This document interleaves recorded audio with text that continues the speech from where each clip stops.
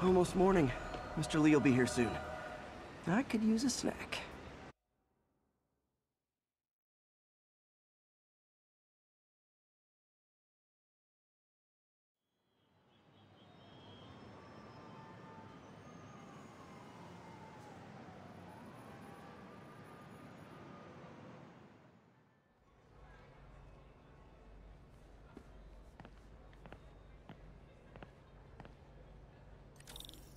Mr. Li's usually in his office now.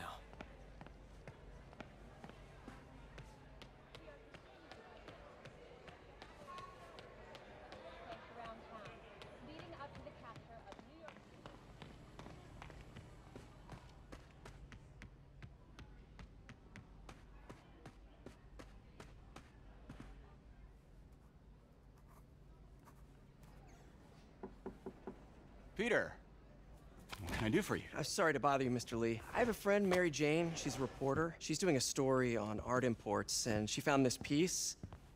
Well, she wanted an expert opinion on it, and I know you have a degree. And this might be the first time I actually get to use it. Let's see what you have. Interesting. Where'd she find it? I'm really not sure. Why, what is it? A replica of an antique Chinese opera mask. I haven't seen one in years. This symbol here roughly translates to demon. Demon. Uh, my father read me ghost stories with that mask and symbol in it when I was young.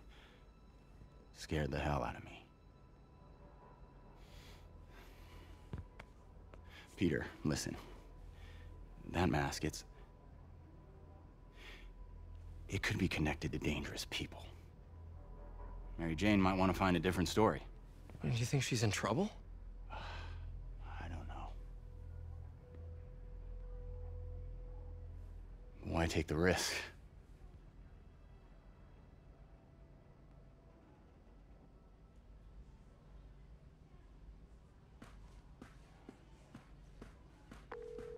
Hey, The symbol inside the mask means demon. It really spooked Mr. Li. Never seen him like that. He even said you should drop the story. fat chance. Do you think Mr. Li knows more than he's letting on? No, I think he just had a weird flashback or something. I know his childhood was pretty traumatic. Yeah, makes sense. Demons, huh? Catchy name. Okay, gotta get writing. See you soon. Well, that went about as well as I could have hoped.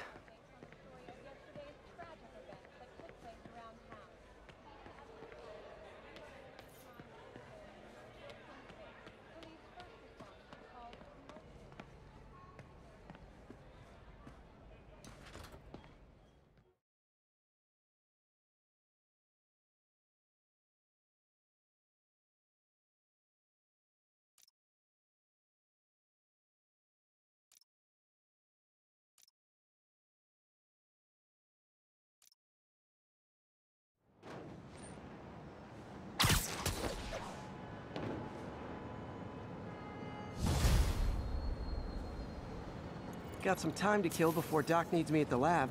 Let's do a little Spidey workout in the city.